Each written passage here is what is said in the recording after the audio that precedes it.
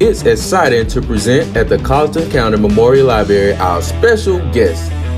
Come on, everybody, friends one and all, let's come together, let's break down those walls.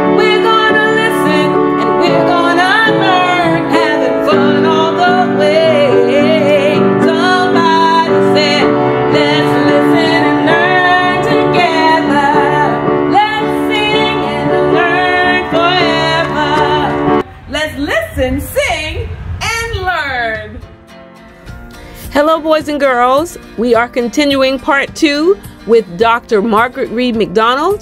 Hope you enjoy. Okay, so let's dive right in. Who is your target audience when writing your children's books?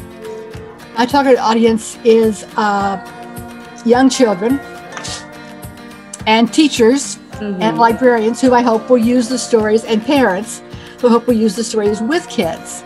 And my my books, I when I when I'm writing them, I want to make sure they're written so well that any random father can pick them up and read them. They're going to sound just like I read them or you read them as a librarian. They have to be designed so that works. So I have a son. I have two son-in-laws. One's a school librarian, so he knows how to read it. He doesn't count. I have a son-in-law who works for Microsoft who has no idea how to read a picture book. So I make him read them aloud, and I listen. And if they if he stumbles or they sound clunky in his mouth, I rewrite that part. so that's a good way to, to test your writing. Even if your kids are if your kids are writing stories, write one and have somebody read it back to you and listen. It's a good way to tell if it's good or not. Oh, okay. Here's one I wanted to show. Then you see that boy from the Dragon Palace. Yes. He's great. He's great.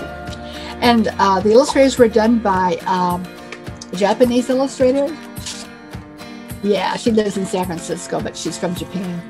And I like the way she made the illustrations. Let me show you a little bit, and I'll show you exactly how why I chose this book. It's about a flower seller. Let's see. A poor flower seller found no one to buy his flowers. He said, I'm going to give them to the Dragon King who lives beneath the sea. And he threw the flowers onto the waves. And the water began to swirl and swirl and swirl. And suddenly, up from the sea came a beautiful lady. Oh. Yeah, she had a little boy in her arms. He had the snottiest nose you ever did see. Uh oh. She said, This is a gift for you from the Dragon King. And she put the little boy in the old man's arms. The old man said, What will I do with this snot-nosed little child? Oh, said the lady, you must take him home. Feed him shrimp every day. Vinegar and put in sugar. He likes it like that. He'll bring you good luck. And she disappeared beneath the waves. But the old man took the boy home and he made him shrimp and vinegar and sugar. And then he fed the little boy. And here's where the participation part comes in. Because you have to take your bowl of shrimp and you and you've got to slurp. Exactly. And then the little boy snuffled on his right sleeve, snuffle. And he snuffled his left sleeve. And he blew his nose. Honk, honk, honk. Achoo! Uh oh. And when he blew his nose, Uh-huh. The floor was covered in gold coins. Look at the gold. So matching child to the old man. And the next day he ran to town and he bought more shrimp and pudding and sugar and he, then he repeated again. So through the story, the kids get to keep going slurping and ha. And then of course he wishes for a, a palace and he gets a palace and he wishes. Yeah, and then he just keeps making wishes. The old man. The old man, every time the little boy blows his nose, he gets the old man gets his wish. I love that book. Do I have that book? We're gonna get that book. You, do. you said you had it. Well, then I'll go back and read it. Go ahead and read it and read it to your kids and put it out so they can check it out and take it home. I don't forget how it ends, but you can guess what happens. Um. Okay, I, I like trying to figure out. So I haven't read the book, boys and girls. So this is a true guess. Margaret, I think what's going to happen is the man gets greedy. Aha! Is Good it guess. true? Good guess. Okay, he gets greedy and he messes things up and he loses the child and his wishes. Is that is that accurate? You're absolutely right. You don't know quite how it happens, but he ends up right back in his house. Oh wow. But you got to read the whole story to see everything that happens in between. Now that is amazing. And you know what that comes from guessing like this? Being a reader and a storyteller and a writer. And hearing other stories that are Yes, like and that's how it stories happens. have a pattern. And my stories are all folk tales. I, there's only one that I actually made up. The others are all stories that are from around the world that have been told. And so I didn't really create them. I just retold them. I'm still the author because I use my own words. Mm-hmm. But they're stories that were told by grandmas and grandpas, like the Pickin' Peas one, Yeah. all around the world and passed from person to person. Every time they're told, they change a little bit because every teller tells them in their own words and makes them their own. Well, I love it. All right, just a few more questions. So how many books have you written? Written, uh, you can see piles of papers behind me that are books I've written that haven't gotten published yet. Really? Not- oh, yeah. I've got probably uh, 60 over there I haven't got published. Because you send them out and they reject them. You send them out and they reject them. I've gotten over, I think, 500 rejections so far. Yeah. I can't take it. I can't take the rejection. That's what if you do- don't then you don't want to be an author. But because that's what it takes. But I have got 66 actually published, Uh-huh. and I've got two more coming out if COVID ever finishes. Oh God. Kind of stopped in the tracks, and some have been published in another language. So here's Fat Cat in Oh. Korean. See the see the Korean letters? It's in Yeah. so it's kind of fun to have them get published in a different language. What stands out in your head? I have two that are coming out right now. One is called a collection. It's called Kindness Tales. Oh. I have a book called Peace Tales and one called Earth Care that are folk tales on pathways to peace and war and pathways to take care of the earth. Right. This, this is a kind. This is a companion book, stories about kindness coming out from August House uh, in the spring very soon. But the one I'm working on right now, that's it's a picture book and it's coming out.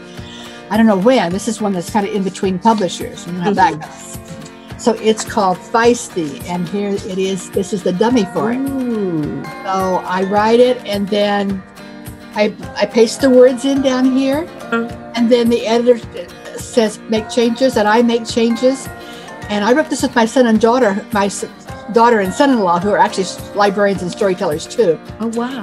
And so we had to work together. And every time we read it, we change some words.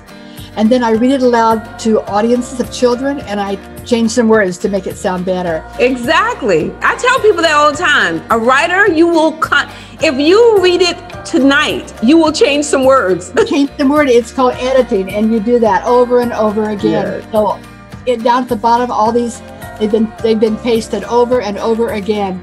I just paste on new ones, paste on new ones, paste on new ones. So who's your illustrator? Those are gorgeous. Aren't they? Diane Greenseid, and she illustrated a book I did called uh, Teeny Weeny Bop.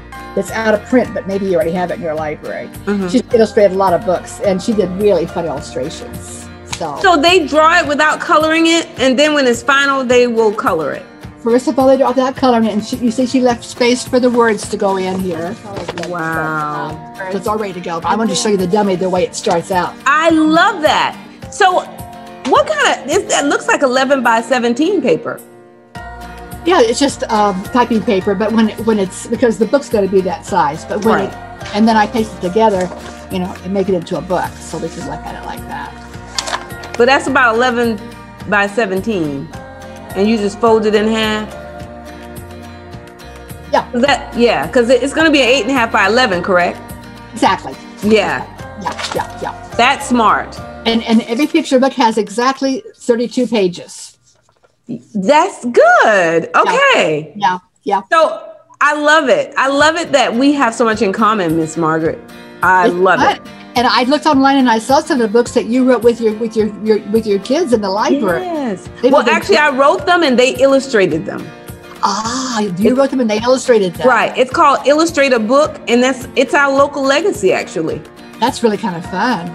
it was a lot of fun. So I totally understand when you said you got your PhD and you got a chance to research and do all these. And I understand because folk tales, believe it or not, when I became a children's librarian, folk tale is, was, and still is my favorite genre. So, and, and they're good because they've been passed down for thousands and thousands of years and polished, polished, polished by lots of tellers until they got really good. That's why I love folk tales.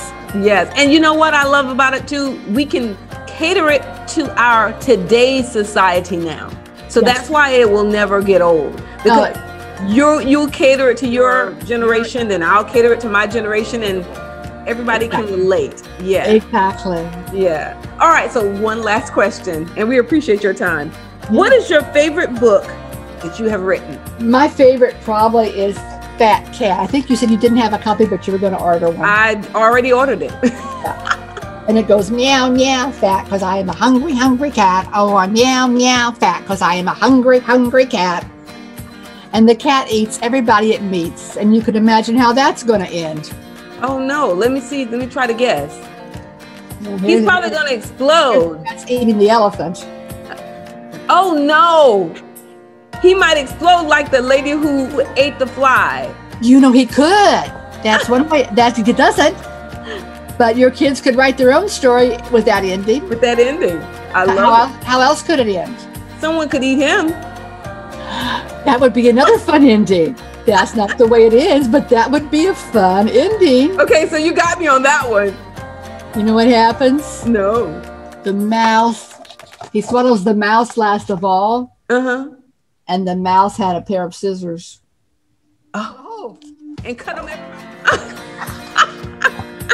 and they all got out. Oh my goodness. I love it. and then because it's a folk tale and I can fix it myself, I changed the ending and had the mouse sewing back up again. Oh, good. Kids will be happy about that. yeah. Because they were best friends after all. wow. He was trying to tell him, don't do it, friend. Don't do yeah, it. But he kept. I know, because he was the hungry, hungry cat. exactly. And a big cat. Awesome. I had so much fun. I know my boys and girls and adults and everyone who watched this video will enjoy it and fall in love with you all over again because I really enjoyed this. Me too. It was fun talking to you this morning. Thank you, Dr. Margaret. It's been a pleasure. I hope we can do this again, seriously. Okay. Take care of yourself, honey. Bye bye. Bye now. Thanks for spending this great time. Now, children, it's time to go. Thanks for watching Miss Shiela's reading show. Hope you listened and you learned and remember all the things you heard. We hope, children, next week that you will return. If you enjoyed watching us, please like and subscribe. Bye-bye. What folk am I? Can you guess my name? Can you say with ease?